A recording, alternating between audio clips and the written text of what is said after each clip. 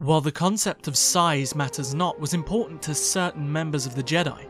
to the Republic military, size meant everything. During the Great Galactic War with Emperor Vitiate Sith Empire, Colonel Laren Omas of the Republic Special Forces Division and a variety of their top specialists and engineers drafted the concept of a starship beyond anything the galaxy had ever seen. A starship that eclipsed the biggest ships of both the Sith Empire and the Republic's current naval forces. This starship was destined to become the ultimate flagship of the Republic military, and it was to become a symbol of hope for the oppressed planets crushed under Imperial rule. Although the project was expensive in both credits and resource, the Republic understood what such a starship could achieve and represent, and the concept was approved by the Republic, and it was designated under a completely brand new class of starship, a Super Dreadnought. And so,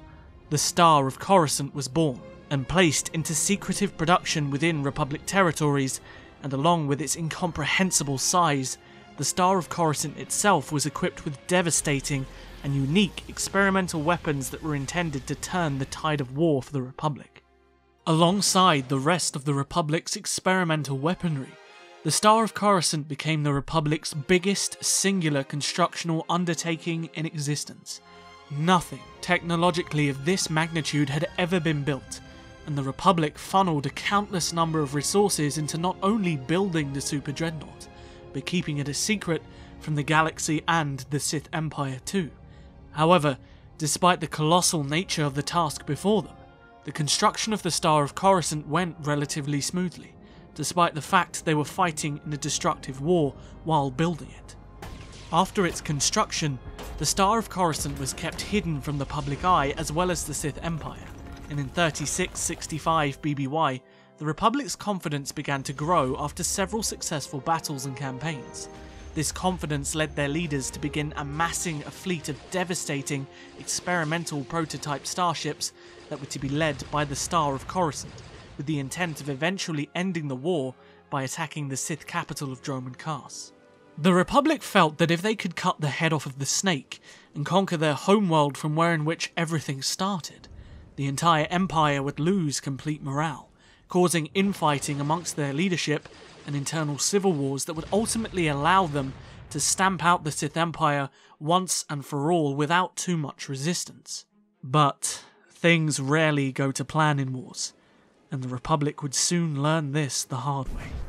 However, as the experimental fleet began to move through space, a hidden Chiss enclave on the planet Hoth decoded and interpreted secret transmissions indicating the existence of the rumoured super dreadnought.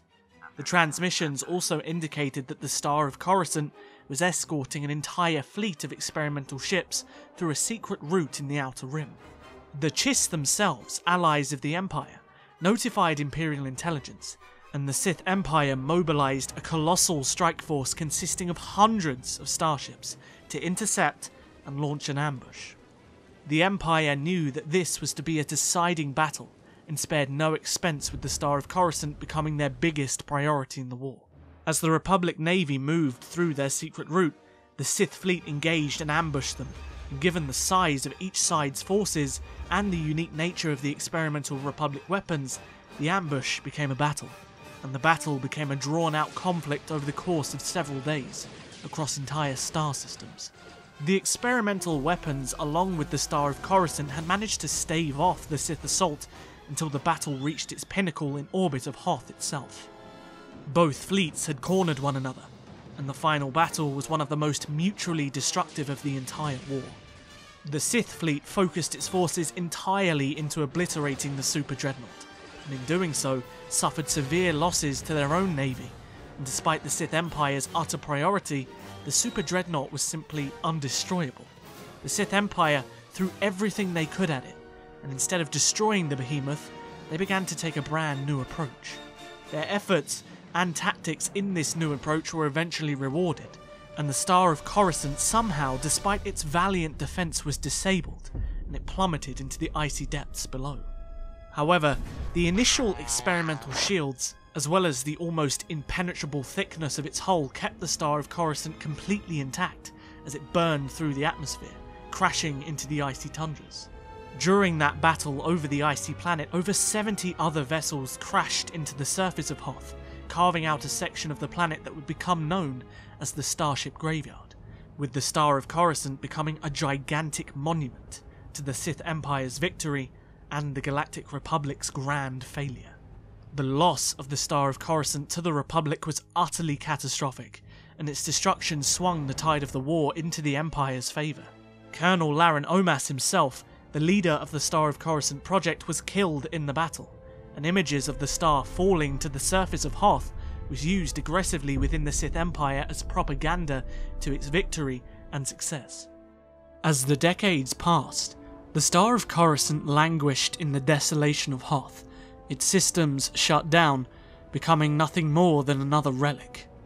Despite everything that it had represented, it had quickly become forgotten, forced to lie dormant until the Great Galactic War re engulfed the galaxy found its way back to Hoth. Both the Republic and the Sith had made their way back to the remote icy world, both building staging posts for their militaries and scientists, and while neither had the resources to fully recover or re engineer their lost and prized technologies, they intended to strip what they could and dissolve it into their rapidly growing militaries that they both needed to win the war. Of course, amongst all of these downed starships, the Star of Coruscant had priority interest from both factions to be stripped. However, by this time within the war, the shell of the Star of Coruscant became the home and defensive fortress of a band of pirates known as the White Maw. Any entry that the Sith or the Republic had to the Star of Coruscant was met with fierce resistance, and neither faction truly managed to reverse engineer or recover it. Despite the fact that it was still intact and operational technologically, the Republic never attempted to recover their super dreadnought, and like everything on the planet, despite its grandeur and all the hopes that were pinned upon it, the biggest, most colossal ship in Republic history was eventually buried, and the Star of Coruscant became lost to the cold embrace of time.